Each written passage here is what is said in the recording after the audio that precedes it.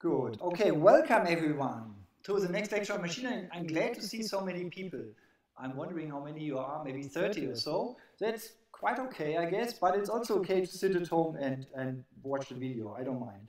So, as we just seen in the Ilias, but the video people didn't see it, but there was a question about deep learning. And then just there's a nice diagram that one can draw about where deep learning is, okay? So, my diagram looks like this. This is AI. So this is the field of artificial uh, intelligence. And there are some... Ah, very good. Thank you. Wow, you're really prepared now. So did it work? Yeah, now it works. Thank you, very good. So this is a nice diagram. So this is the area of artificial intelligence. Maybe the rest is this one and everything is the rest. So this is AI research and there are differently sized bubbles in there, okay? So there are the connectionists guys, so those are the neural network guys. Then there are the support vector machine guys. And then there might be also some others like logical AI guys, okay? And through time, the size of these bubbles are changing, okay? And new bubbles are coming. Maybe there's a new bubble called machine learning at some point, or maybe it's starting very small, so it's starting like this. And it's part of the neural network guys, they are in here too. And the logical is very large, so that's like in the 70s, yeah, where you think with mathematical methods you can solve the AI problem. And the machine learning thing is developing and getting larger and larger. Yeah, maybe, I don't know, this might be the stage 1990 or uh, 1995, I have no idea. And suddenly this bubble gets larger and larger and larger. And there's another bubble in here. And Those are the neural network, which are now called deep learning. Okay? So how does an updated image look like? An updated image looks like this. So this is now machine learning, yeah? And this is now deep learning. I'm a bit exaggerating, but it is really like that. Deep learning is a subset of machine learning because deep learning is using some particular models, some particular methods to do machine learning. And machine learning is a set of methods to do artificial intelligence. But it's currently kind of taking over many of the other areas. So there's also an overlapping thing maybe of logical AI where people are also thinking, so how can I use probabilities or probabilistic methods or deep learning maybe to do some logical AI tasks, okay? So another diagram to put it is that AI is the superset of ML, which is the superset of deep learning, okay? So that's where the deep learning is here. And then just very briefly, what is deep learning? Deep learning is a particular way of modeling this function f which goes from the input to the output. Okay, and then this function f has lots of parameters, those are the weights of your deep learning methods, and what's so special about it, it's such a, it's like a gigantically large function, but it's only using mathematics from primary school, luckily. So it's only using plus times and maximum. Okay, those are the things that you learn in primary school and those are the functions that you need for deep learning. I'm a bit exaggerating, but the ReLU nonlinearity, if you know it, is just using maximum. If you have a neural network with ReLU, there is nothing else than this. If you have something with a tangent hyperbolicus or sigmoidal, you have more operations, of course. But in principle, the single operations are very simple, but you use lots of them, okay? And the nice thing is these operations can be run in parallel, so you can make use of these graphics cards. And that's why they're booming so much, because these GPUs that were designed for computer games, right? Actually, a GPU was bought to connect a screen on it, right? So it also had an output for a screen. But um, they were designed for um, basically um, doing lots of computations for different areas on the screen and lots of the same computation. So they are parallel computers that are all running the same program on a different part of the screen, approximately, or a different part of your 3D model of a game or something. And um, then researchers were using these ones also for neural networks because these operations are matrix-matrix multiplications which could be parallelized as well, okay? And they could also be implemented on a GPU. So because you have always the same operations and you can run it in parallel. And then more and more money was put into this research how to make these parallel machines super duper fast and you can just buy them and put it into a computer and then you can do, you do this deep learning like with really large models. The other thing with deep learning is deep learning uses stochastic gradient descent. We will learn about it, what it is. But the key here is you take a training example, you process it, kind of extract some information from it, and then you discard it and you take the next one. So if your data set increases, yeah, then the computation time will increase with the same rate, which doesn't sound so good first, but the good thing is if your uh, data set is increasing with O of n, your running time will also increase with O of n. And that's not true for many other methods, right? Many other methods, they scale with n squared, right? If you would calculate a distance matrix on all your examples, then suddenly you would have a method which is going like n squared with larger data sets.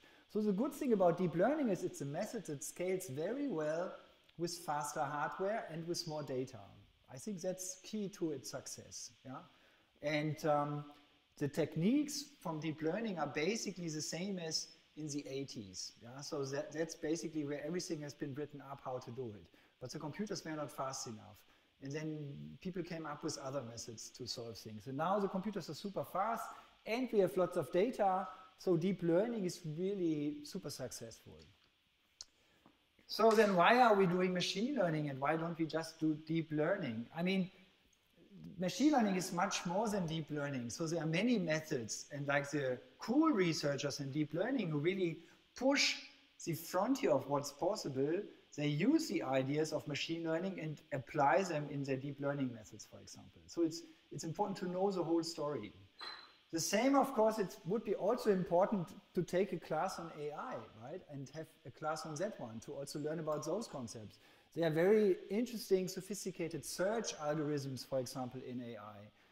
Again, and then you can combine them with your deep learning engine and you have something new and something that is more powerful than the old stuff. Okay, so that is like the thing to remember, AI, machine learning, deep learning. This is the ordering here. Good. Okay, and now we will talk about monsters and mouse today. Maybe you've seen this already when you looked at the slides. Let me see how I can switch. No, that was the wrong button. Hmm. Now, ah, again, this stupid bug. So what's wrong here? Does it work now? Yeah, okay. So let's get started with section two. So this is a coincidence that it's also lecture two, but this is section two, it's the second topic. And it will, about, will be about plausible reasoning and Bayes rule. So basically here I will motivate the use of probabilities for plausible reasoning, okay? And um, that is interesting by itself, right? Because maybe a robot or an intelligent machine should reason about the world, and the way to reason could be logic, or it could be logic plus probabilities, okay? And that's something that I'm proposing here. However, also, the probabilities are interesting by themselves because when you start talking about, so what are you really doing when you're doing deep learning? What does it mean to have a data set? Once we can talk about probabilities, we could say there is a joint distribution of inputs and outputs. And from that one, I can sample a training data set. That's, those are my observation. And kind of the distribution, the joint distribution is describing nature, what, how things work. Okay, and I can sample examples and I can learn on these examples. And generalization now means if I take this learned machine and apply to a test data set which has been sampled from the same joint distribution, yeah, then it's still working very well. Or it's not working very well, yeah, as we will see. So to talk about the other concepts, probabilities are omnipresent. However, they are also interesting by themselves, yeah, as a, as a way to reason about uh, the world around us, right? To reason about how much money to bet that Borussia Dortmund will become the Deutscher Meister this year, for example. How much money should you bet on it? Okay, for example. And I guess in Dortmund, more people are betting large amounts of money than in, in, in Munich, probably. By the way, you could make money by knowing this one. Anyway, so plausible reasoning. Before we get to that, I have updated my list of books. In particular, there are lots of more books that are free online, okay? And let me briefly go through some of these books. So those are now, it's a list of books which I found, and they're in particular for those who might think their math is a bit rusty or they never understood it anyway, okay? So those are good books to look up what a vector is or what a matrix is, right? And all the basics, how to calculate derivatives and all these things. So let's um, start with maybe one recommendation, this one, Mathematics for Machine Learning from Marc Deisenroth and colleagues. Um, so this is a very nice introduction of the mathematics that you need for machine learning. Of course, you need a lot of mathematics, but they present it in a way with having you in mind. So the examples will be from machine learning, okay? And it's not a math introduction, so I think they don't care so much about whether um, a vector space exists or something like that, whether we need to use Zorn's lemma that every vector space has a basis or something like this. So that's not such an issue for them. They are more very concrete. What can you do with matrices? What can you do with vectors? So that's a very nice one. And it's completely available for free online. Yeah? And you can also order it. And that's a pattern that you see very often now in machine learning and also in other fields. So when you look at the publishers here, Cambridge, Cambridge, Cambridge, Cambridge, that's a very nice publisher. It's from University Press Cambridge, and they give away their books for free as well. Okay, and you can buy them.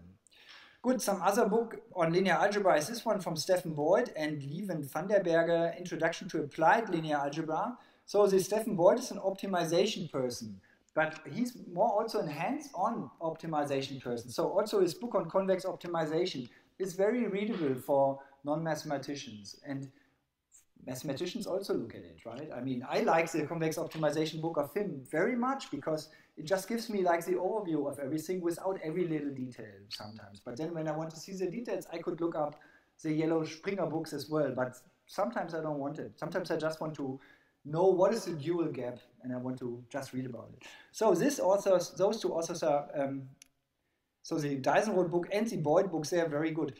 Then there's another one which I haven't read yet. So there is a new book called Linear Algebra Done Right, which is yet another book on linear algebra. I haven't looked into the book, but there's a short version of it called Linear Algebra Abridged. Just put it on your shelf or on your bookmarks, okay? And when you have a concept you don't understand, go through the different sources and see which one fits your background. Then there's another one, very new Introduction to Probability for Data Science. Yet another book.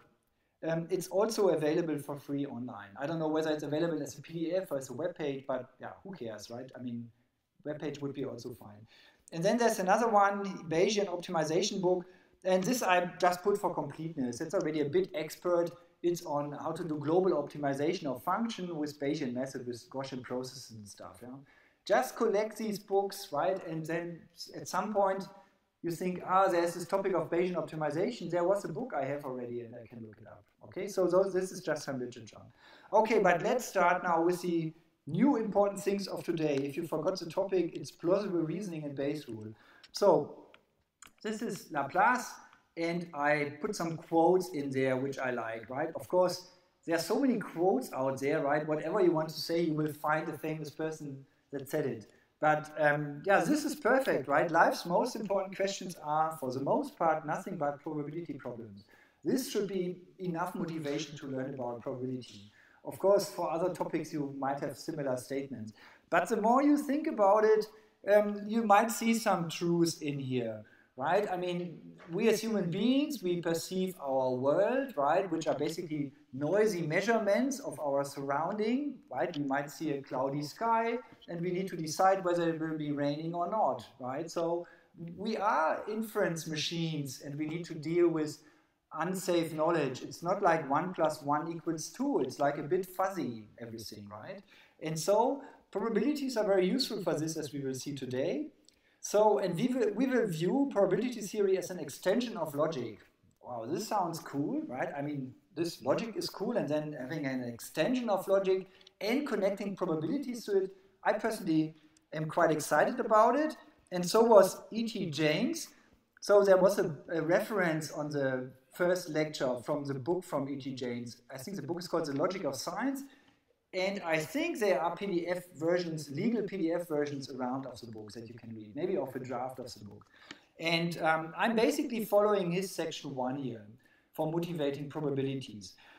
So, and this is about deductive and plausible reasoning. So, I will briefly explain you what deduction is with giving you an example here. This will be our running example. So, there are two statements. One statement is it will start to rain by 6 p.m. today, and the other statement is the sky will become cloudy before 6 p.m. And from your world knowledge, you know that there is a connection between the two, right? And so let's express this world knowledge. We know, for example, if A is true, so if it starts to rain at 6, then B must be also true. Okay? Then it must be really cloudy before 6 p.m. Yeah? Otherwise, it cannot rain. Yeah? I will change my opinion on this statement a bit in a second, but let's keep it like this. So now, if I know A is true, yeah, so if it really started to rain at, at 6, then I can conclude that B must be true too. And so this is logical inference and called modus ponens. Yeah, so basically you have a statement a implies B, and you have the statement A, yeah, and from this you can always infer that B is also true. Okay, so this is modus ponens. And now what does deduction mean? Deduction mean you have a set of um, true statements, axioms or premises, and you draw a conclusion from it by using logical inference rules. Okay, and the logical inference rule we are using here is called modus ponens. And there are many others. For example, from the statement A and B, you could infer that A is true. Okay, so that is another rule. And this is called deduction. Okay, and deduction can be mechanized for first order logic. So there's a calculus for this, so it can be kind of automated in a way. So then you know the other ones. Maybe if you've done some mathematics before, what about if we have the same assumption, A implies B, but now we say B is false?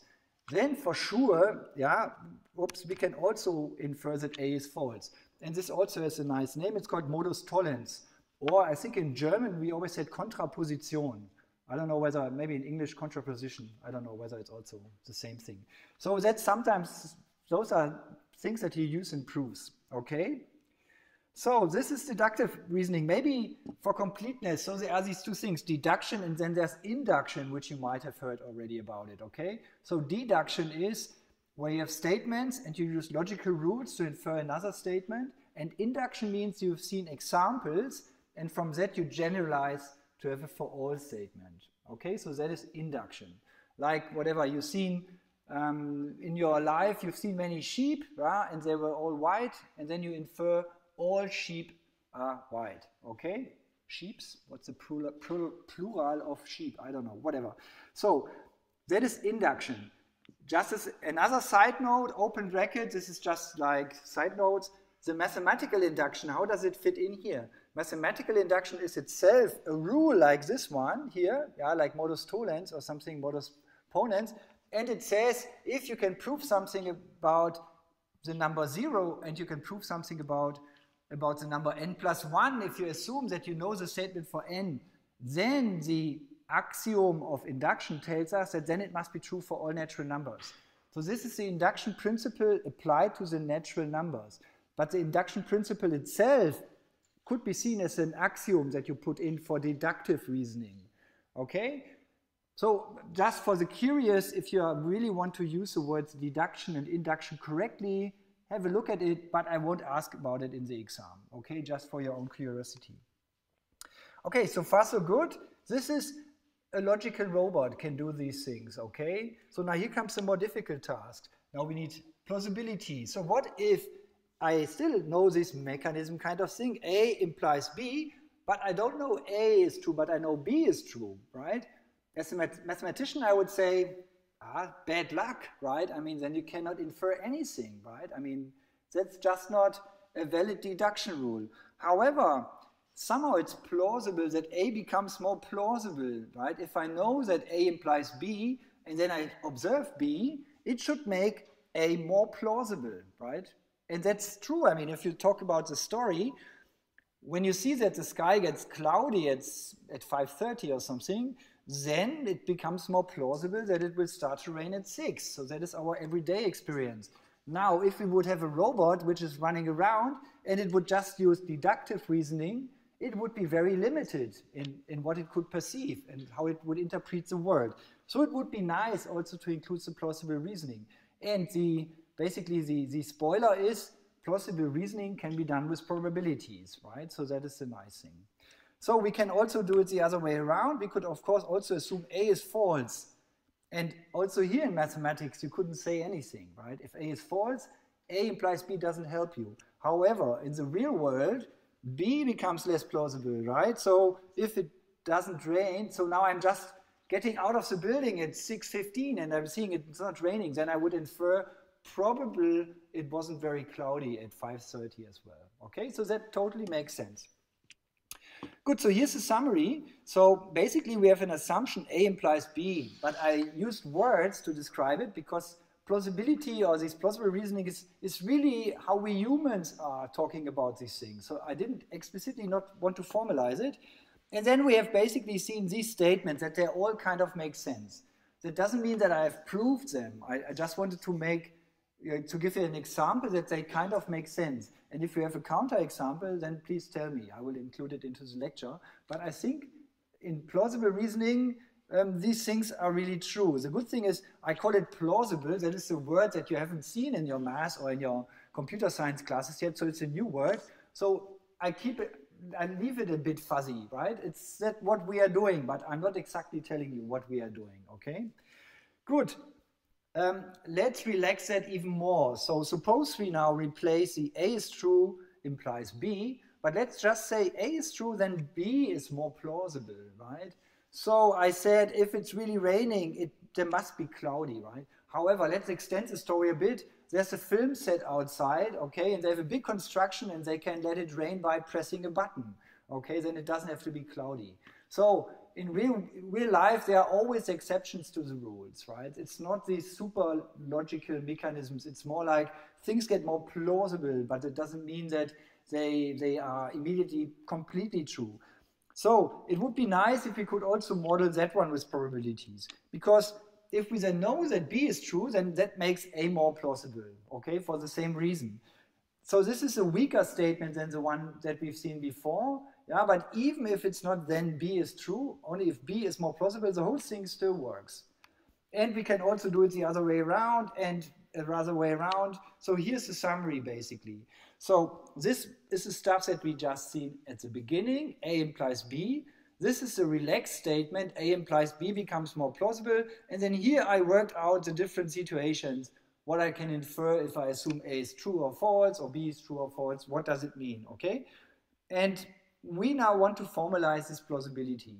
And we will see that this can be done with probabilities, okay? So one approach is from Cox. And um, there are the so-called Cox axioms. They're trying to formalize common sense. And that's what we were talking about. Yeah? This plausible reasoning kind of is our, our Allgemeinwissen, yeah? our, our Weltwissen, the common sense. And the way he's doing it is he says, first of all, the plausibility of B, assuming that A is true, should be a real number. And I give it a name. This real number gets a name, P of A given B. Okay, but this is just a name for this one. And then he says my plausibility, so he calls these P plausibilities. Of course, at the end, those will be our probabilities, but he calls them first plausibilities. They should comply with common sense. And this is like this shaky statement. This is not really mathematics, right? So this is more having a, giving people a questionnaire. What do you think? Is it more likely here or there? And then you could maybe poll about it, but it's not super strict and super rigorous, right? So it's a bit hand wavy. And the other statement as well, it should be consistent, yeah, whatever that means. For this, you would have to look into his paper, what he really meant it and where he is really using it. But from these three statements, which sounds quite okay, you can derive the product rule for these plausibilities and the sum rule. And those are exactly the product rule and the sum rule that you also have for probabilities. Okay? And so this Cox is a celebrated person for, for the Bayesian people, so the, who likes Bayesian statistics. So this is a very interesting way to have a foundation for probabilities, to derive it like that, okay? And you, you might be asking, so why do we get multiplication? Why do we get summation? Why do these operations come from? And that comes from this complies with common sense. There might be some statement like, if this is whatever half as likely as that one, and then how should it be combined, and blah, blah, blah. And the other thing is, they should be between 0 and 1. If you model it like that, then you get certain operations, okay, and then you get plus and times, and those are the right operations. So when you look at that one, the product rule can be written one or the other way. Um, maybe let me first write um, a simplified version of the product rule to the board. So where am I? Here. So a simplified version of that one is basically P of A comma B is equal to P of A given B times P of B. And next time, yeah. Ah, okay. The comma has a certain meaning, the bar has a certain meaning, and I will now just read it, and I would read it like the probability or the plausibility of A and B. So it's like a logical AND, okay? P, yeah, oh yeah, of course. It's symmetric as well, so it doesn't matter. Good that you ask. This is a very nice motivation for the next section. Um, however, from just from the notation here, kind of he derives these kind of formulas, okay, that you can have a product rule and having these properties. And what you are referring will be done then after this introduction to this plausible reasoning. I'm trying to really formally introduce what this exactly means and what stuff are you allowed to put in here. Yeah, that's a very good question because sometimes you run into situations where your intuitive pattern matching on this kind of stuff kind of fails. Okay, so we will explain that in, in great detail. However, okay, what I wanted to say is, so you can apply it in one or the other way around. So you can also first as the other variable, and then this thing is called conditioned on, okay? Or assuming that this stuff is true,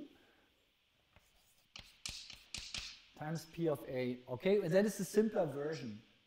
But I can put the condition on C, I can put it everywhere in here as well, okay? And then we have the formulas that we see on the screen. Okay, my buttons, they don't work. Okay, whatever. So that is then a formula that we can derive. The good thing is, for us, like as practitioners, we only care about these two rules, and that's the stuff that we use for calculating around the things. So that's basically then our calculus. We don't have to care anymore about the stuff where it came from. We only need these rules at the end, okay?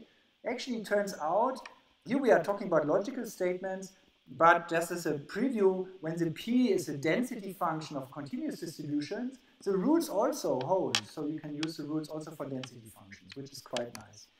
Anyway, this product rule will, infer, uh, will imply Bayes rule, which I explain in a second, okay? But just as a side note. So here's a different approach called from Kolmogorov. So those are Kolmogorov's axioma, and this is more rigorous, okay? So I think the Cox is more like the physicist way of thinking. So you, you do it until it works, kind of. Maybe that's a prejudice of mine. But um, my impression is like the physicists, they can solve every integral and they have these superpowers of doing calculations. But sometimes they are like a bit hand wavy and it converges against zero, so it's going to infinity and is one or something like this, okay? And Kolmogorov is a mathematician, so this is now super strict and rigorous. And he now models the plausibility using a measure, okay? And this is measure as in measure theory, okay? And you know measure theory is Infinitesimalrechnung 3 typically or something. It's like it's like a tough topic. It's not so easy with sigma algebras and so on and so forth. However, it's actually at the end, let's translate measure just with yardstick or in German Zollstock, okay? So everything that can be measured, like with the yardstick, that is measurable, okay? And the analogy is, is not really that bad because when you do measure theory, you need to define what can be measured, and typically you define it in such a way that everything that can be measured with a yardstick, so which is an interval basically that has a certain length, and then doing some sigma combinations, yeah, that's the stuff that you can measure. So the yardstick is not that bad. So the measure theory is just a way to formally kind of um, specify what can be measured what can be quantified, kind of, okay? And that's fine, and that's enough for us. important thing is that there are certain axioms that must hold. So for probability measure, Kolmogorov assumes that um, it must be always between 0 and 1. Yeah? You might be asking, what is this A anyway? So yeah, that might be a true statement, which is true or false. So it could be like a propositional variable or something, okay? But we will specify exactly what it is. But so it must be between 0 and 1, and that's an arbitrary choice. He could have chosen it to be between 0 and a 100, okay? That's totally okay. That's an arbitrary choice. He wants to have the probability of the true event, like the event that is always true, he wants to have it to be 1. And he wants to have this formula if A and B are mutually exclusive, so not both of them can be true at the same time, yeah, then basically the statement of P, A or B should be just a summation. So and from these axioms, you can also derive interesting formulas, yeah, for example, these ones that are basically very similar to these um, rules that we just seen. Yeah? So basically it's the same as the sum rule that you can derive from the axioms. Where do we get the product rule? The product rule we get by now defining this conditional probability.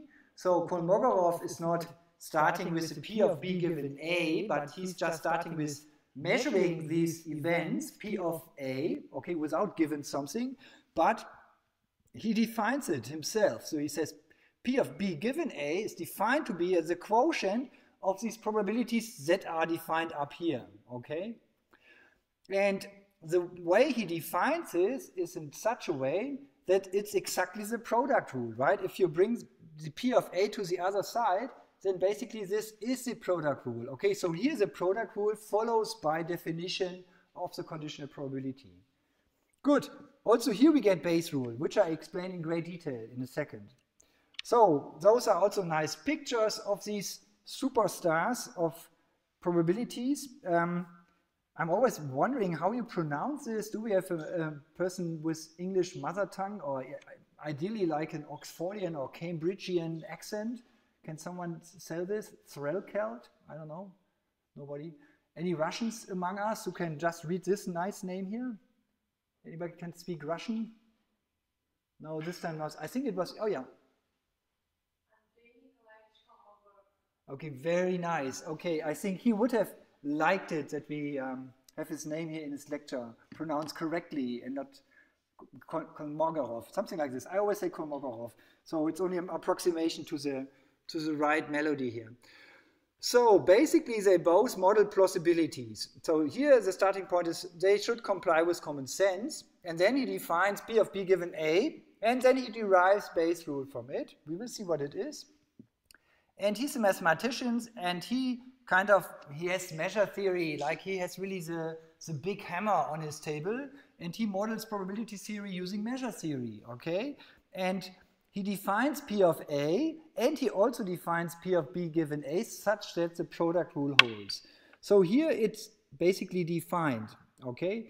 Kolmogorov's approach is typically more rigorous. However, both are kind of interesting, right? I mean, even if people find a bug in the proof of Richard Cox, nonetheless, it's interesting that he gets so far, that he gets something like the sum and the product rule from a totally different, with a totally different approach which might be a bit buggy at some places where he talks about common sense or something, where one could argue whether this is the way to do it or not. But nonetheless, I think it's quite interesting. So the debate might be Bayes rule an axiom or not, but at the end, who cares? I mean, we just want to have the sum rule and we want to have the product rule. That's what we care about. And the foundation of this, um, it doesn't matter so much for us. Yeah? Both approaches to give a foundation kind of shed some light on the deeper meaning of these things. Good, so here comes Bayes rule. Here's another quote.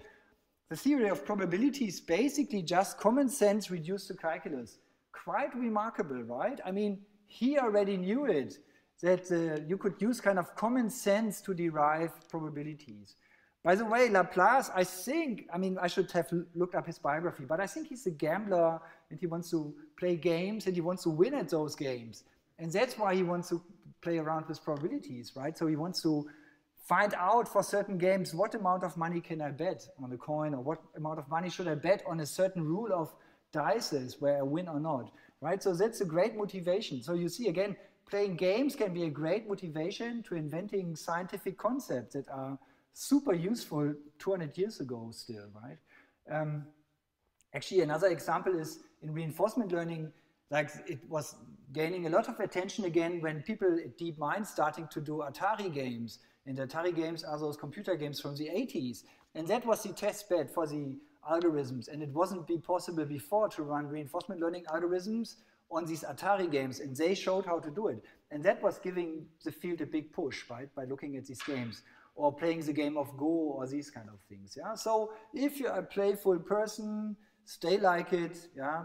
Stay playful. Then that's the best way to become a famous scientist. Good. So here comes Bayes rule. So inverting probability. So that's what I'm writing here. First of all, the image is quite interesting. So the signature is assumed to be his signature. The image, people typically argue, ah, is not the image of Thomas Bayes, but it's the image that someone who wrote a paper or a book um, where he was referring to Thomas Bayes put into his book. But like super historian experts, they say this kind of clothes is not typical of the time when Thomas Bayes lived. So it can't be Thomas Bayes, um, or he must have had a very weird fashion taste, okay, which is was not with his time at that point. So, but whatever, this is the phase that I'm thinking of when I'm thinking about Thomas Bayes. So there's no better one. It's wrong, but it's like a good approximation. So, up inverting probability. So where's here the inversion happening? So you see P of B given A, yeah, so B first and then the A, and the inversion is happening here on the left-hand side that P of A given B. So let's think about it. So this one is kind of um, having one direction of reasoning, right? For example, when it's cloudy, it will start to rain, okay? That's maybe A is cloudy and B is it starts to rain, or was it the other way around? Maybe it was the other way around, but who cares? And on the other side of the equation, it's the other way around. What, how likely is it that it's cloudy if I see that it rains? Okay, so it's really inverting the mechanism.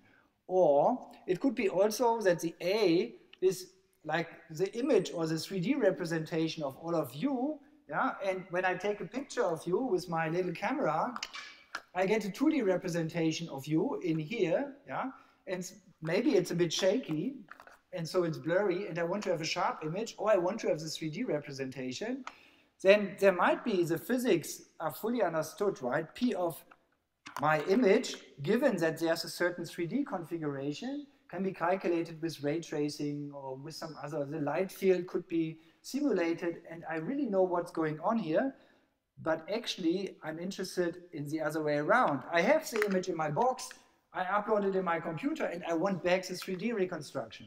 So I'm interested in P of the 3D reconstruction given that I have an image. Okay, also there I want to invert the process.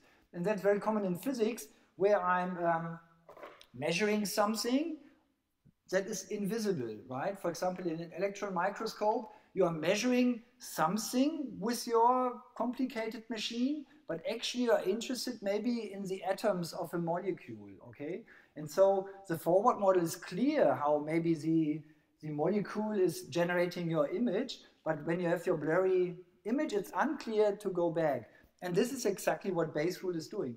I'm not saying yeah, we now should use Bayes rule for these kind of problems, but I just want to motivate why it's about inverting something. So it's really inverting the thing. So what does this formula tell us? It tells us basically that this quotient, this, this condition gets inverted if I multiply it with this quotient of P of A divided by P of B. Okay, so that's one way to view Bayes, Bayes rule. However, there's another view about it. It could be, what is this A in my 3D reconstruction example? So the, the, the, the 3D rendering of you would be the A, and my 2D image is the B, right? So first, I have a prior distribution on 3D renderings. So I know something already. I need to press a button. Yeah. So I I um, know already something about the A. Okay, so here's my prior. P of A. And what do I know? Okay, from taking lots of pictures, they almost always look the same kind of. I have a lot of chairs and some people are sitting there. But where exactly you are sitting is every time it's different, okay? But if I haven't taken the picture yet, I have a certain prior of what to expect. Then I do the measurement, So my measurement is my picture, and then I update my beliefs. So now, given that I have observed my 2D image, I have a new probability distribution on the possible 3D things. So this is what updating your beliefs means. You have some prior assumption, you get measurement, and then you update your assumption. Okay, so this is very, very basic. Um, so how does the formula look like? Let's write it slightly different. So basically, I'm having a P of A in the formula, and this P of A is multiplied by a quotient, and it will be the quotient of P of B given A divided by P of B. So can we also interpret these things? Yeah, so somehow this thing is describing my measurement process, right? So this is doing the ray tracing and generating a 2D image of it. So this is the physics here. And this might be a probability distribution over typical images that I get, okay? And somehow the ratio, maybe how surprising this particular B is compared with this, its initial probability if I don't have a particular configuration, this ratio is telling me whether the P of A given B is more likely than the P of A or not. Okay? So this ratio kind of could be interpreted like that. So with Bayes rule, you can always talk a lot about it, and we will. So this is the first statement. It inverts probabilistic relationships, which is interesting for science. Um, so often it looks like this. We might have hypotheses. So those were the typical 3D renderings or something, 3D locations of you. But it could be also the hypothesis about whatever Jupiter has 20 moons. Okay, that could be a hypothesis. Or Jupiter has 19 moons or 18 moons. Okay, you have a certain distribution because you've seen already some planets, and then you know already how many they approximately have. Then you see some data, yeah, you look through the telescope, you get an image, and you know when it has 20 moons, and you know what to expect from your telescope, yeah, and basically after seeing the data, you have a new distribution on the number of moons, okay, so that's Bayes rule. So before you see the data, it's all the stuff on the right-hand side. Now those are like these Bayesian statements, so you value your beliefs as probabilities. And that sounds so easy and it is so hard, right? For the moons, for example, you would have to give a distribution over the number of moons that you are expecting. Or you could take a uh, distribution, whatever, that you fit into other solar systems or whatever, okay? Sometimes you just cannot value your beliefs very well, okay? And then your inference will be also very bad. That's just how it is. Um, so without seeing any data, I have a prior belief what to expect, and this is expressed in my prior distribution. So assuming that I'm having a certain number of moons, a certain hypothesis, I know how the data should look like, and that is described by the so-called likelihood, okay? It's just a name, okay? Likely is another synonym for probable, and they didn't want to call it probability for a certain reason, which I'll tell you in a second. So those are just names to these things that are commonly used. But more important is that you understand that it's coming from the product rules and that it's inverting these things. So this symbolistic thing, that's more important. So knowing that it is wrong, yeah, the likelihood is that the hypothesis is wrong will be P of data given not H. So here assuming that the H is like a true statement. But in principle, of course, the H could be an integer, it could be whatever thing you could think of. It could be images, it could be everything, okay? Then there is the evidence. The evidence is P of the data. It's yet another random name for an expression in here. And note that it can be calculated from the top two quantities by summing out the hypothesis. So there is this sum rule, and basically P of data given H times P of H can be rewritten as P of data comma H, okay? Plus p of data comma not H, excuse me, and then there is a rule for that one, the sum rule, that you can get rid of it, okay? So the p of data is a bit weird, but it basically says how likely is it that I see this particular measurement yeah, under my model assumptions, okay? That is what it is measuring. Good, after I've seen the data, I can update my beliefs, and that's another word I calculate the posterior beliefs, so the afterwards belief. okay, which is P of H given the data. Good, so Bayes rule tells you how to update your beliefs. And the thing that I've drawn here on the uh, blackboard, this should show updating the belief is your initial belief is your prior, your after seeing the data belief is your posterior, this other thing, okay? Good, and this is very basic and very appealing. Unfortunately, not always applicable, right, because of technicalities, okay? So the problems are at the end integrals. So where is the integral hidden here? So why is there an integral in here? The problem is summation rule, of course, can be generalized to continuous numbers, and then the summation rule maybe um, becomes an integration. Okay, so the integration is basically summation of a continuous variable, and so this integral is then something that you cannot calculate often in practice. Sometimes you can, but not always. Okay, then practical computations becomes very complicated. However, kind of now we are more philosophers right now. So we enjoy the beauty of the simple, easily understandable formula, and we will keep it in mind and we will try it, and we sometimes fail with it. Good, here's an example where we won't fail. That's the monster versus mouse example. Actually, I must say I forgot whether I invented it myself or whether I got it from one of the books. So if one of you finds it somewhere, tell me. I will put back the link in here. If you can't find it, then probably I invented it six years ago. Good. So here's the story.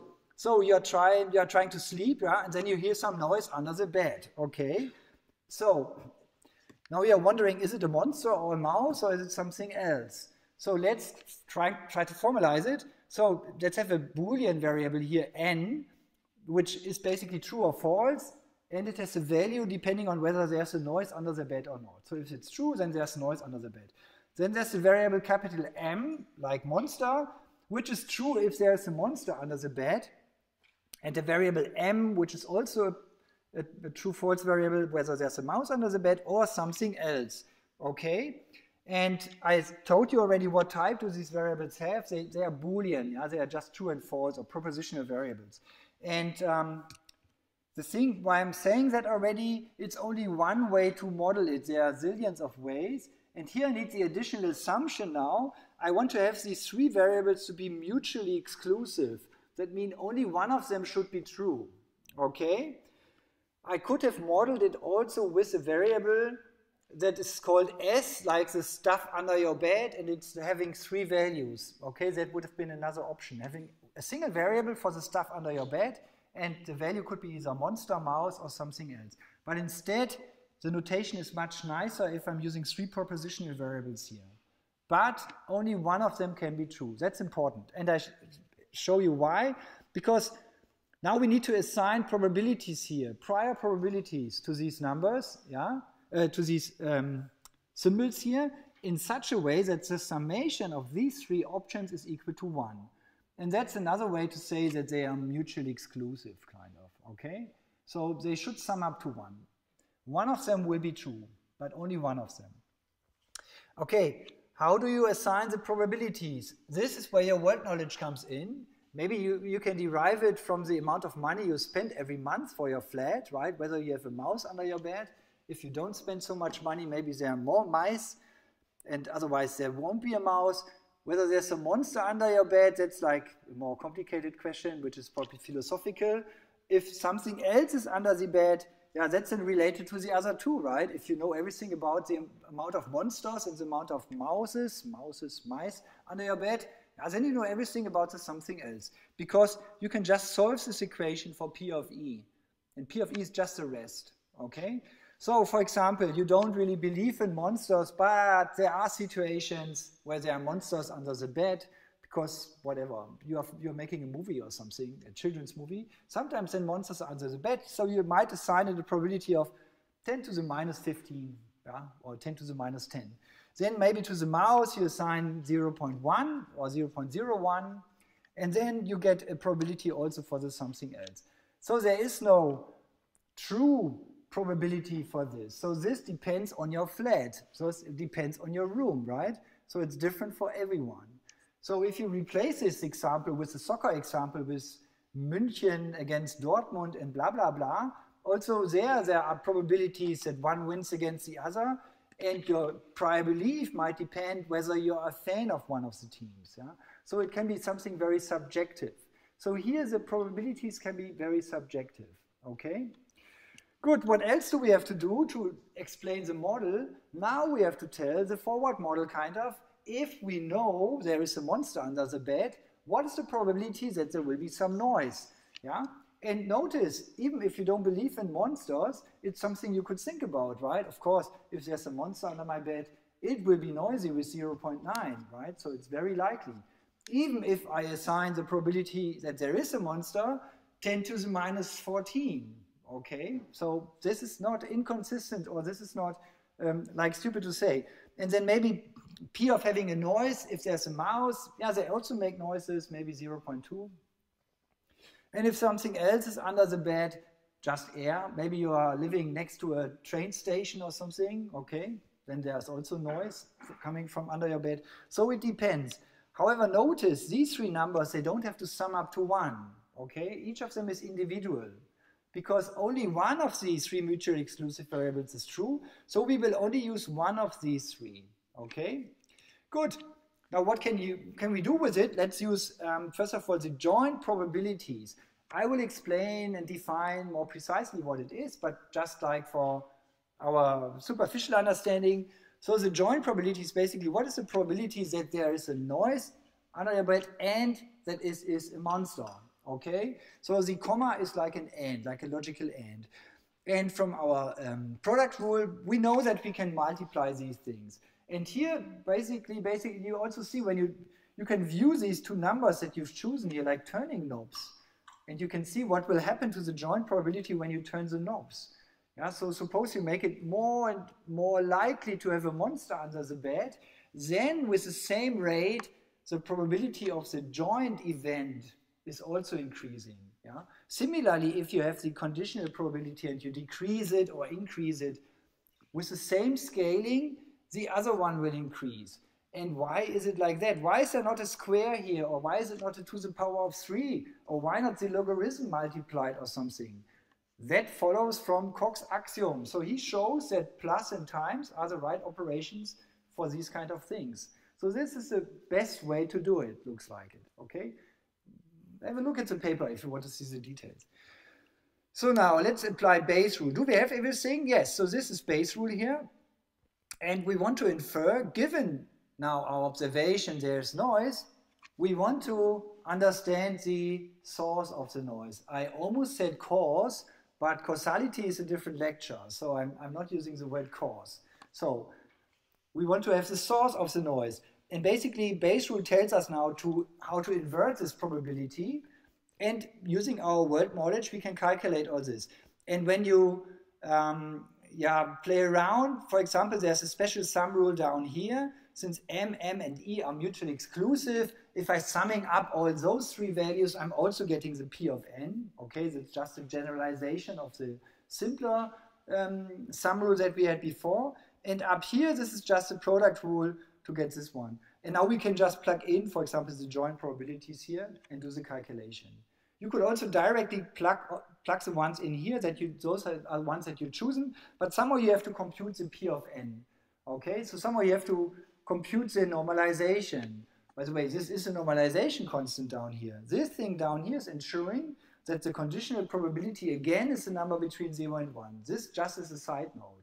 So this P of n is basically summing up all possibilities that could be put up here. So what possibilities do we have up here? P of n comma capital M, P of n comma little m, and P of n comma little e. Those are the three possibilities. And those numbers could be anything, right? Some, those are all numbers between 0 and 1, but they don't have to sum up to 1. But by dividing by their summation, I'm ensuring yeah, that this thing is again a probability between 0 and 1. So you see there are different perspectives on these rules and you can look at them like formally that you want to have certain properties that they are kept and they all nicely work together that, it's, that it makes sense. The other way to, to think about this quotient here is to say I want to um, yeah, weight basically my probability of seeing a noisy monster compared to the other alternatives. Okay, so if there is another alternative, yeah, like whatever um, a, a, cat, yeah, the probability of noise, comma cat, might be even larger than everything else because they are so loud at night and they are looking for the mouse, um, then basically the, the bottom part here, yeah, the denominator is increasing. So this will decrease the probability of capital M given n, right? Because the bottom here is increasing if I have yet another alternative which has a very large number, okay? So here you see like the inner workings of Bayes rule, why it is like how it is. You are kind of renormalizing these joint probabilities with Bayes rule basically, okay? That's it. So again, we can have these formulas for all of them, and I, I spelled them out for you, for your pleasure to find the typos. But this is already an old slide, so generations of students before you have seen the have found the typos. I hope this is now correct. Um, so again, Bayes rule in words. Um, basically, we are having hypotheses about what is going on under our bed without having heard something, without a measurement. Then we have our measurement, we are hearing noise, and then we need to update our beliefs about what's going on under the bed. Okay? Good. Um, yeah, and they also sum up to one. As I said, that was kind of an assumption. But curiously, also when you calculate this, I mean, here are the formulas, right? And you can sum those up and you will get a one as well. Okay? Why do you get them, by the way? I mean, yeah, when you see these three terms, they have all this P of n as a denominator, and they have basically, with the product rules, a joint distribution on top, and if you sum up the three joint distributions, you will get the P of n, which was just um, the formula down here, okay? So that's great, that's a great calculus, perfect. So let's go back to our um, deductive inference. So this is still our situation here. Um, now, how can probabilities help us here? So this was like the overview of the stuff. These properties do we want to have, okay? So let's do it like this. The semantics that I put in here, I choose it, and maybe I copied it from E.T. Jaynes. I forgot which part is mine and which part is his. Most is. But now to model it, yeah, we now say plausibility is measured as probability. Fine. Then we say this value P of B given A is the probability of B, assuming that A is true. The value P of B is the probability of B, assuming nothing, okay? So we can always condition on the true statement if you want to. Then P of A being equal to 1 is the statement that A is true, assuming nothing.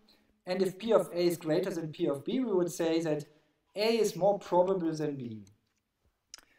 What else do we have? We have now these basic laws of probabilities, and there are only two, product rule and sum rule, but there are different ways to write them. So, what do I mean by this? So I mean, P of A plus P of not A is equal to 1, which also logically kind of makes sense, right? It's basically saying tertium non datur, okay? It's either true or false. There's nothing, there's nothing third possible here. So you can rewrite it by now condition on another variable c. It doesn't change anything in the statement. You're just going to a different probability distribution that is now assuming that you know that c is true. Um, and then there's another um, statement here. If you are not summing out this variable, then you get 1. But if you have another variable that you are not summing out, you're getting this other variable. That's another variation of the sum rule.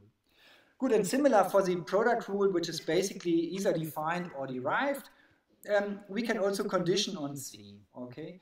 And basically, those are the important rules that you need to do probability calculations. And again, this is a bit hand wavy and it's about discrete probabilities. The same exact rules hold for densities, which is which came to a surprise to me when I first saw it. But it holds for densities. Because when you learn it in um, Wahrscheinlichkeitstheorie 1 oder 2, so this probability theory, is it called probability theory in English? I don't know, whatever. So if you learn it there, it's looking quite difficult, conditional probabilities. You define some Markov kernels and yeah, always you have to worry about measurability and so on. And at the end, it's really simple.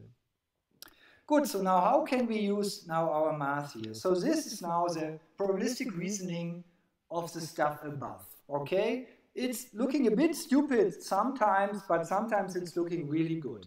So let's first look at the right-hand side. So the statement, if A is true, then B is true, we would say that P of B given A is equal to 1. Okay, this is like A implies B. Yeah? But this is just one interpretation of the thing. Now, if I want to show that A is false is implied by B of B is false, then I have to show that P of not A given not B is equal to 1. So the assumption B is false is the not B here, okay? And what I want to show is the not A. How can you prove this? This can be proved by Bayes rule. And I will try to put it on the board in a second. If you do the modus ponens, the whole statement in this notation looks trivial because you're assuming that P of B given A is equal to 1, and that's exactly what you want to show. So this is a bit a problem with the notation. So this case is not so super interesting. But this one is kind of, okay? Um, it also gets more interesting. So what about this getting more plausible stuff? Okay, that's even more interesting. So what am I showing here? Again, I'm assuming P of B given A is equal to 1. And now A becomes more plausible. I can write as an inequality like this. I could say P of A given B is greater or equal than P of A. So without knowing B, A has a certain plausibility or probability, but when I know B, yeah, the A becomes more plausible or more probable. Okay, so that's already nicer. So guess what the proof is? It's Bayes rule. Similarly here, so we can also do it the other way around. And um, let's get more fancy. Let's say we are saying A is true, then B is more plausible. Okay, so this can be stated, and we have said already, P of B given A is greater or equal than P of B. Yeah, so that is basically the statement, if I know additionally A is true, B is more plausible than without knowing that one. And then I can show these kind of statements. And then this is getting not so trivial anymore, that this really holds for probability. So to me, it's surprising. So at the end, you can show all these statements here. And I think that is exercise two or something on the sheet, okay, to prove these things. I will show you one of them. So let me pick the easiest. No, I, I pick the second easiest, okay? So this is the easiest, right? There's nothing to show. Let's try to prove this one here, and let's see whether I can do it. so do we have an eraser? Or maybe I can fit it in here on the side.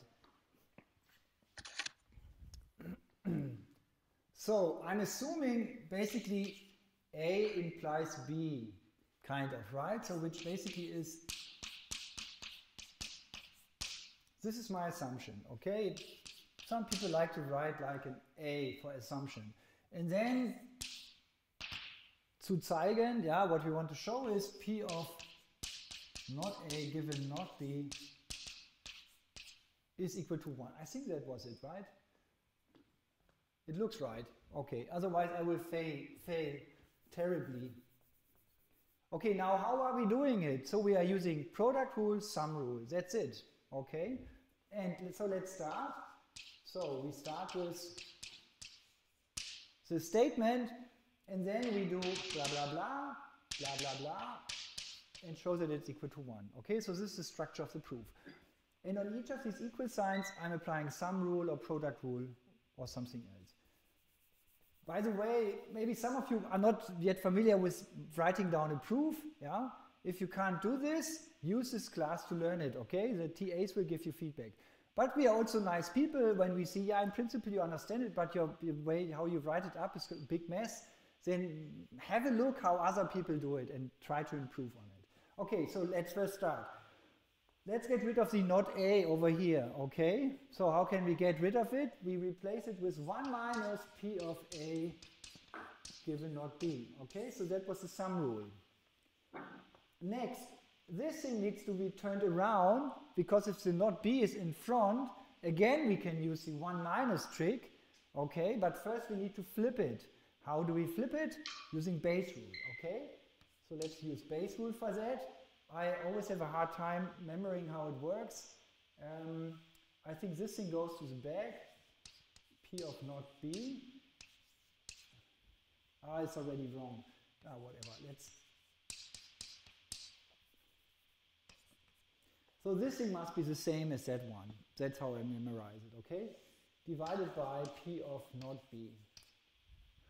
Okay, so far so good.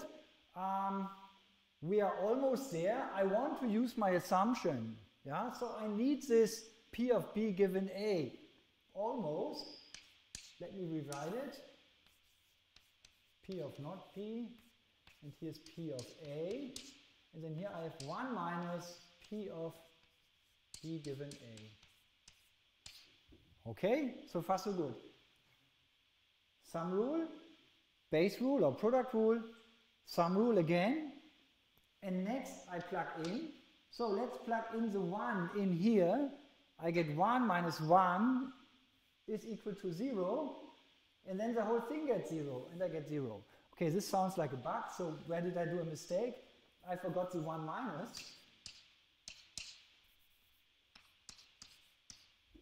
And luckily, this is 1 minus 0, which is luckily the 1.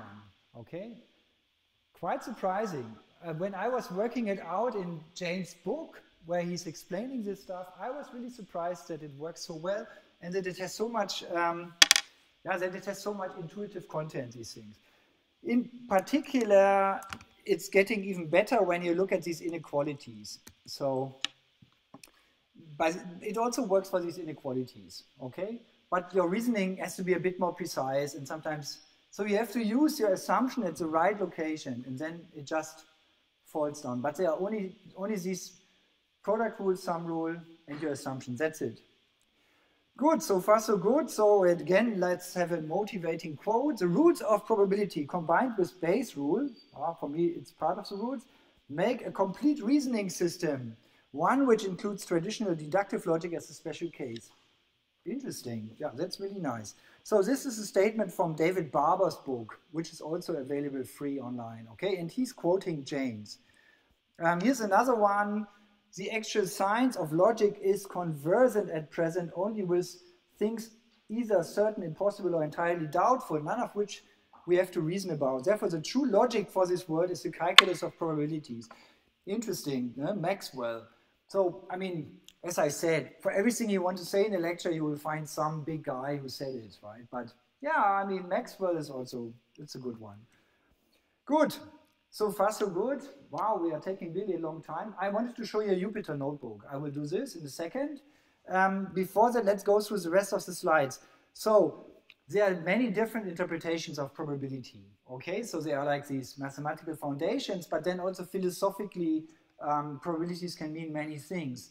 And also among the statisticians, there are different ways to have a foundation. And that's a, a fun, fun topic, at least for me if I'm having, if I lose the fun on this topic, then I go back and say, ah, a sum rule and product rule, that's enough. I don't have to worry about where it comes from. But sometimes it's interesting to see where it's coming from. Um, also in AI and artificial intelligence, there's the area called reasoning under uncertainty. So reasoning is basically logical reasoning, right? So those are classical AI guys, okay?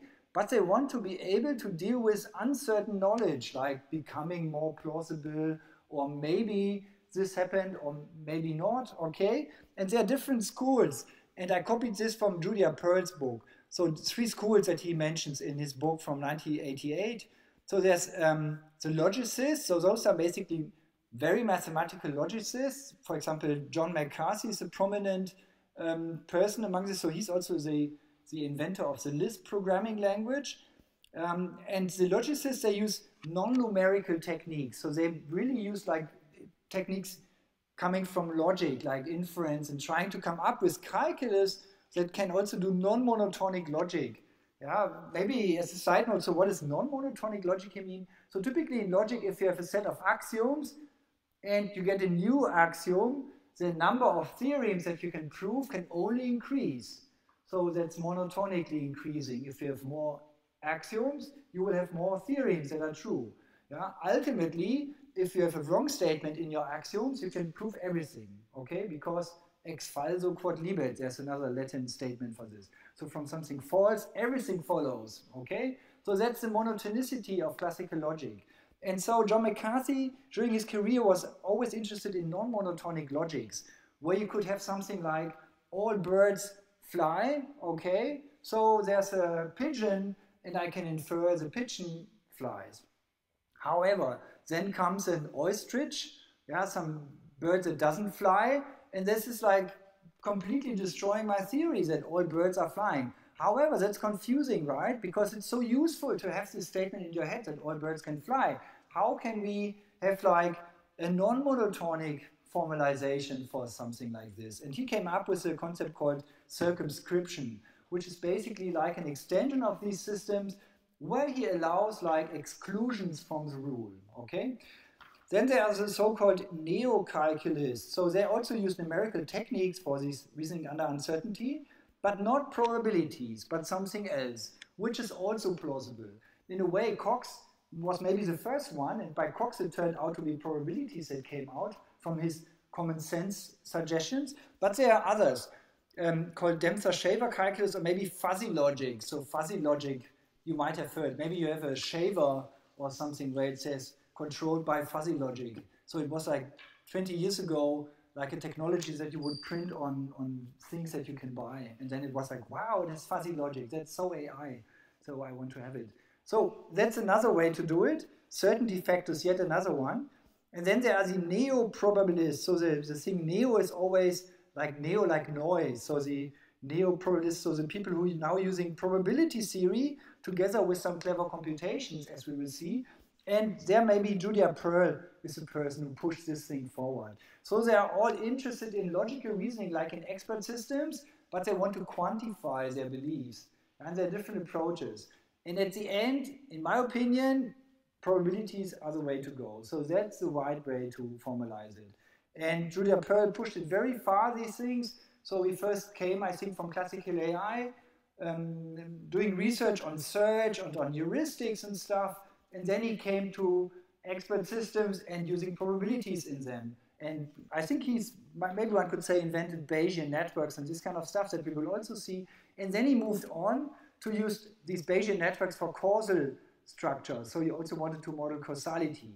Yeah, and for this work, then he later on he got the Turing Award, which is like the Nobel Prize in computer science. So this is really interesting researcher. The other ones are also very interesting researchers. The stuff is also quite interesting. It's always interesting. So you have a certain problem, reasoning under uncertainty, and you have different brains coming up with different solutions. And so it's interesting to understand the differences and the things that are the same. So this is a summary, and I promised you that I tell you, um, that I show you my Jupyter notebook. This we will see next time, yeah? Um, what exactly do we mean by P of A and P of A comma B, for example? In the way we will see it next time, you can look already in the public folder, the slides are already there. I will start with propositional logic and introduce syntax and semantics, and then I will define like probabilities. Yeah? And of course, it's not super working for everything, but it's kind of interesting that you can do. And at the end, what we need is product rule and sum rule. So those are the two rules that you need. And however you derive it, um, it doesn't matter. Let's switch to the Jupyter Notebook. So this is, again, my effort trying to have some programming in every class. So I just wanted to have like a simple calculator thing where I could play around with numbers for the monster and mouse. And you see how you could implement something like this that you learned today, how you would translate the math into simple computer code. So the only function I need from someone else is rand. Okay, I like to call it rand. Python calls it random. I don't know why. I prefer rand. So it's a random number between 0 and 1, uniformly distributed. And now basically setting up the model, the most important thing from the programming perspective is to have a good notation. When you have a good notation, then coding is fun and easy. So here's my notation. I would write p underscore m for p of m. Okay, so the underscore is like an interruption, and then comes the variable. I will also have p of n underscore e, and that is an abbreviation for n condition on e. Okay, now you might wonder, how do I write like uh, joint probabilities? I'm using P of nm. So without an underscore, just the two letters. Okay, and that should be the probability of n comma m. Okay, so that is the notation. And um, then basically now I can assign numbers for the monster. Maybe I change it here to uh, 10 to the minus 5. I have maybe a probability for the mouse. And then I calculate the probability for something else using the sum rule. Okay, so this is the sum rule. Maybe I should um, put it back here following um, the sum rule, kind of. Then here I have an, um, an assert statement. That's another Python statement where you can assert a certain thing that must be true. So it must be true that the PE must be greater or equal to zero. Otherwise, the rest is garbage that comes out. If that is not the case, I can put a string which will be then an error message. Okay, so let's try that. So let me um, run it. So this is easy. So this worked. Let's break it. Okay, so let's say um, whatever. Let's put here something which is too large. And then I get an assertion error. The sum of the m and m options must not be larger than 1. Okay, so it could be more subtle than that because maybe I'm putting here a the 0.3, and here I put the 0.8, so on first glance it all looks fine, right? But then when you run it, it breaks. So why am I showing it to you? Um, of course, it's trivial, right? I mean, it's so easy to check. However, later on, when you play around with it, you might forget about it. And so you should put the assumption. Otherwise, everything else that you compute is garbage, okay? So why not put an assumption? It's really not costly anymore, so we can really afford it.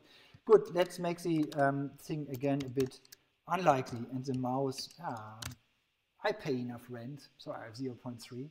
Okay, good. So it all works. Then the next thing about my model is I need to say what's the probability that I hear a noise if there's a monster. And that's 0.99, right? Of course I hear noises if there's a monster, a monster under my bed. What's the probability with the mouse? 0.2. And maybe my flat is quite noisy, 0.1. Okay, so it can happen. And here now we can use these numbers and just multiply them yeah, to get these different joint probabilities. And um, yeah.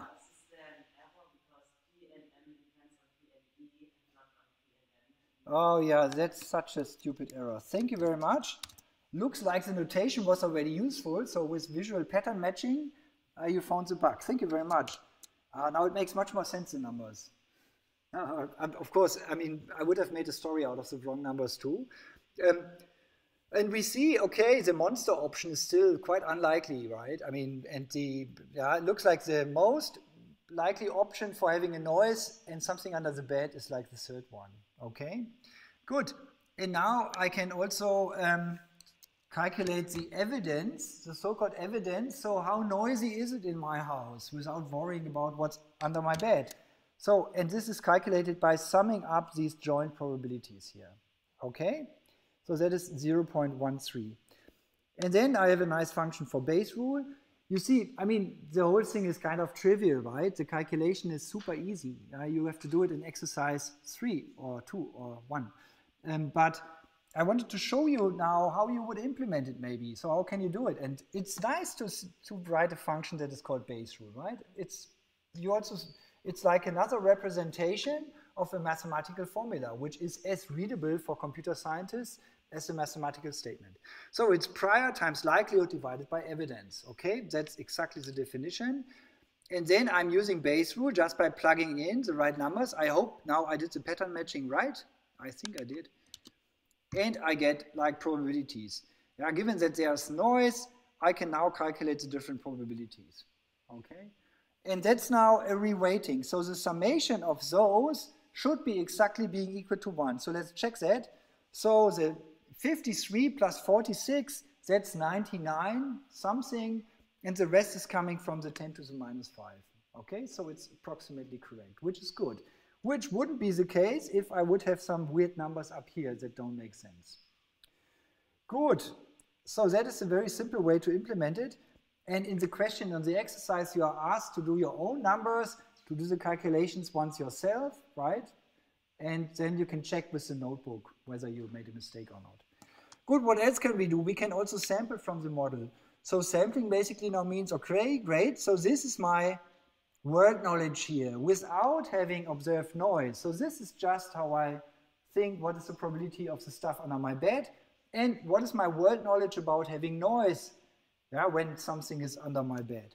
And I can now sample from it. I can randomly generate data, right?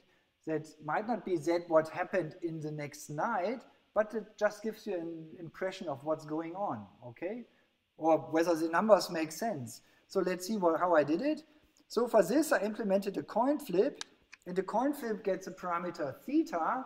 So I could have used the parameter p, like probability for having heads, but p is overused already. So let's take a Greek letter theta. And basically now I'm calling rand, bracket open, bracket close, to get a random number between 0 and 1. And I look whether it's less than theta or not. So suppose theta is 0.1, yeah, then it's only in, in one-tenth of the cases I will be smaller. So in one-tenth of the cases, the return value will be true. And in nine-tenths of the cases, it will be false, okay? So this is a really nice function. And then I can sample from it. And again, the intention of the code is not to be super efficient, super general, here, here a class, there are some virtual classes and whatever, but to be super simple. So here's my super simple sampling function. I sample now a random number, and then I'm asking, is z less than my probability of my monster? If yes, I generate a string now. A monster is under the bed, and I generate like whether there's a noise or not. Where the noise is a coin flip where I put in the probability of noise given that there's a monster. Then in the next case, my string will say a mouse is under the bed and I flip the coin for the mouse. And then something else is under the bed and I flip the coin under the, uh, for the something else. And then depending on whether there's a noise generated, I continue the sentence one or the other way. Now the most confusing thing is probably that one. So what am I doing here? Okay? And give me the two minutes and I show you. Maybe some of you, for some of you it's already obvious. Everyone else, please listen. So, this is from 0 to 1, an interval. And calling rand is throwing a random dart here on the line and I will hit it somewhere, randomly. And when I do it very often, it will be all over the place. So now the three probabilities of monster, mouse, and something else sum up to one. So I can also split the interval here in different parts. Okay, so this length, this measured length, it's measure theory, plus this length plus this length is equal to 1. So now if I throw my dart and hit it, for example here, I would choose mouse, okay? So depending on the length. Now how can I check this? First, I check whether my number that I get here, let's say 0.4, is larger than my P of M, like this one. What about this marker here? That is P of M plus P of little m, okay? That's why in the next thing I need to check whether this number is smaller than the summation of these. Okay, and if that's not the case, I must have hit the last one. You see how this can be generalized for arbitrarily many options. You need to have a cumulative sum sum of the probabilities and then do the comparison. Good. So let's get back to the notebook and let's run it. So the good thing is we can just run it 50 times. Yeah, and here we get like a whole month of events, what will happen at night, okay? Sometimes there's a mouse under the bed, but it is quiet, okay? Often here something else is under the bed, it's also quiet, only sometimes it makes some noise. And very rarely, uh, never ever, is there a monster. Okay, so here's no monster in my thing. So we could increase it, of course, uh, but you, you know, you can play around with it. And interestingly, I haven't seen any data. I just generated data and looked at my prior assumption or at my model assumption. I can look at the world, how it would be randomly generated, whether it makes sense or not. Okay. And then similar, suppose you are doing some computer vision and you're having an image prior or a model for images or something. Randomly sample from it and look at the images whether they look like you want to have them. Okay, that's the same thing here. Good, I think that's it for today. We are really slowly going our way, but I think it's fine. I mean, I think it's good to have a, a very detailed lecture here. So it will get more difficult at some point, for sure. It won't be so easy peasy like now, but um, if it's getting too difficult, you should stop me and I might help you. So thanks a lot for being here. See you on Monday.